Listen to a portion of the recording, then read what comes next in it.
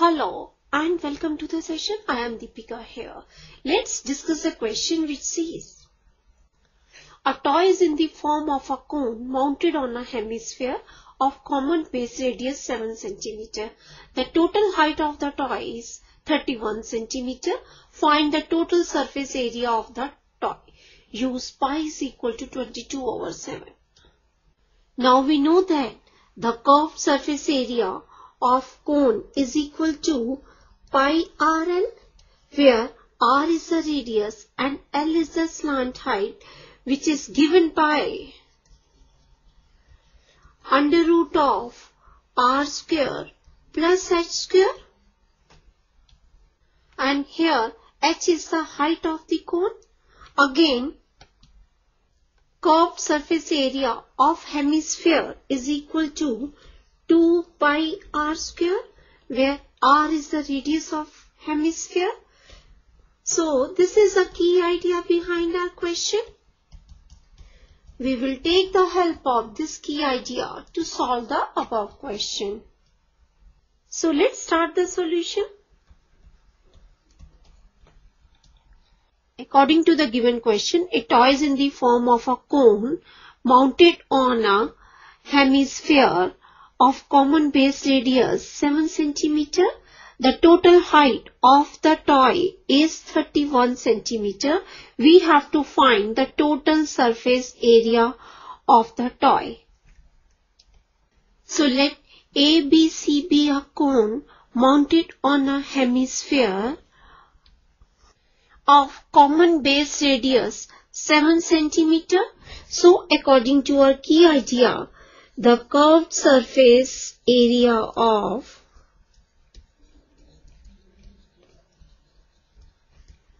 hemisphere is equal to 2 into 22 over 7 because here we are given use pi is equal to 22 over 7 into r square. Now here r is 7 centimeter so the curved surface area of hemisphere is equal to 2 into 22 over 7 into 7 into 7 centimeter square. Now since the total height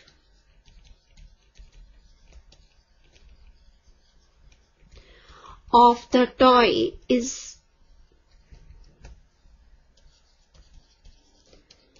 31 centimeter. Therefore, the height of the conical portion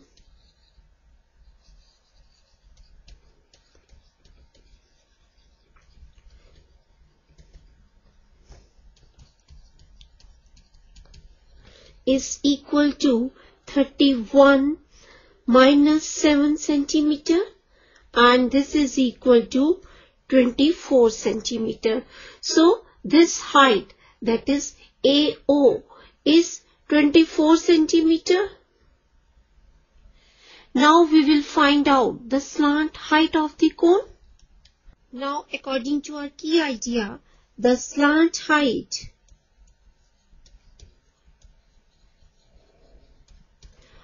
of the cone which is given by L is equal to under root of r square plus h square. And this is equal to under root of 7 square plus 24 square centimeter. And this is again equal to under root of 49 plus 576 centimeter and this is again equal to under root of 625 centimeter which is equal to 25 centimeter. Hence, the curved surface area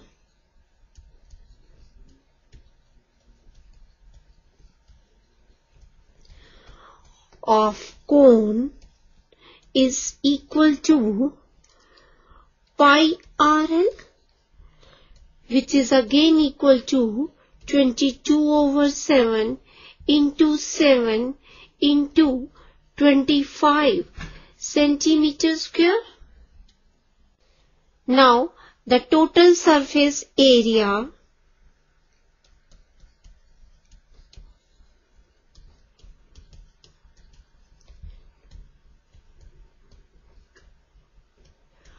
of the toy is equal to